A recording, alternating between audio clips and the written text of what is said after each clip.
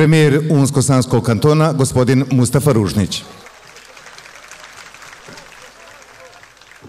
Dame i gospodo, dragi prijatelji festivala, dobro večer svima i hvala vam što ste večeras tu.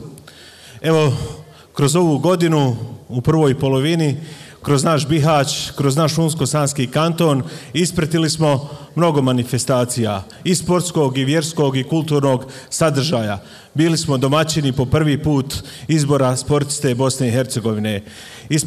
Ispretili smo manifestaciju izbora najnovinara u Bosni i Hercegovini.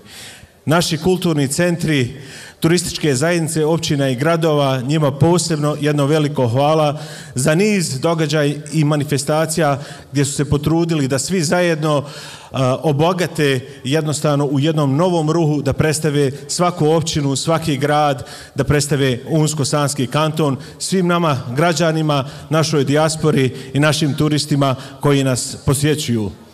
Hvala, hvala svima, a na kraju evo nekako kruna svih manifestacija svakako jeste ovaj festival ljubavi i zato Dado vama voditeljima cijelom, cijelom timu koji je radio jedno veliko hvala možete zamisliti koliko snage, volje, ljubavi, entuzijazma je potrebno da se kroz sve ove godine prati i da naš festival živi.